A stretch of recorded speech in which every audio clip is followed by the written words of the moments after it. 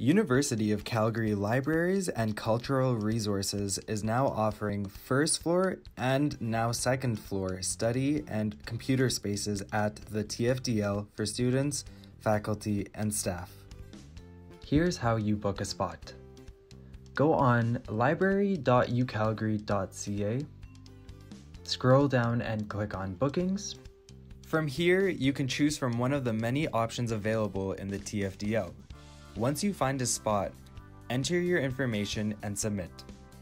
You will receive a confirmation that expires one hour from the moment you submit your booking. When you confirm your booking, you will be sent a second email. Something like this that has important information regarding your entrance to the TFDL.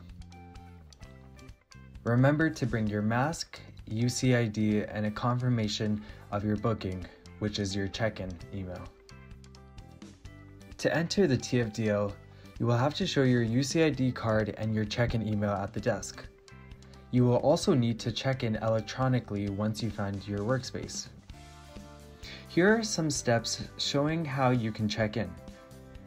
First, you will need to find your space. Then, scan the QR code and enter your three digit code or you can click the link on your email to check in. Some things to note. You can now do two bookings per day, and there is no limit on the number of bookings in a week. We have implemented social distancing in the workspaces, including sanitization stations across the floor, increased cleaning and disinfecting, and adjusting the workspaces to only having a limited amount of seats that are distanced from each other. Our hours of operation for contactless pickup and workspaces is now Monday to Friday, 9 a.m. to 5 p.m. For more information, please visit library.ucalgary.ca.